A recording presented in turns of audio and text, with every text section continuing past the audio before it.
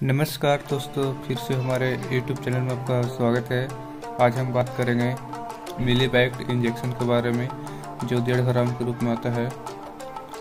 हम इसके बारे में क्या इसके यूज़ है, क्या इसके साइड इफ़ेक्ट है, क्या इसकी एमआरपी है किस चीज़ में से यूज़ किया जाता है।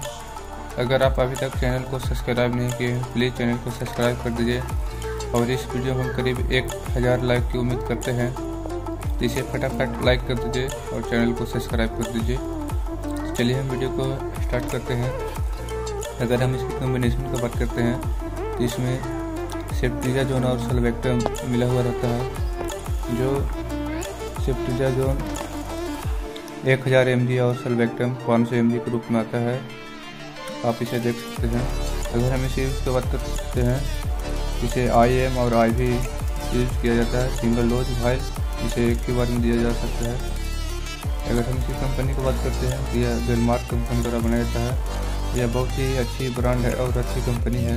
तो आप इसे ज़रूर यूज़ करें और यह आसानी से किसी भी मेडिकल स्टोर से मिल जाता है। इसे ज़रूर आप यूज़ कर सकते हैं। अगर हम इसके यूज़ की बात करते हैं किस चीज़ में यूज़ किया जाता है।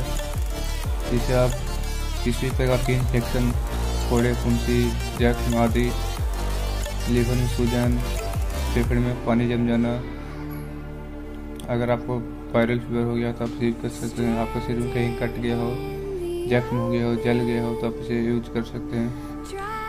इसका डोज का बात करते हैं जिसे एक इंजेक्शन सुबह एक इंजेक्शन शाम को लिया जा सकता है। अगर आपको एज अठारह प्लस है तो आप इसे ज़रूर यूज़ करें। अगर आप अगर आप अठारह साल के ऊपर हैं, तभी यूज़ कर सकते हैं। डेढ़ ग्राम जिसका एक ग्राम भी आता है पाँच सौ भी आता है तो आप यूज़ कर सकते हैं। और अगर हम इसके एम की बात करते हैं, जो खास चीज़ है एम कितनी की आती है, इसकी एम करीब एक सौ छियासी रुपये पड़ती है। अगर आपकी मेडिकल से जान पहचान होगी तो इससे भी कम आपको ये इंजेक्शन मिल जाएगी। तो आपसे ज़रूर इंजेक्शन खरीदें और किसी दवा की प्रचार नहीं करते हैं कंपनी की।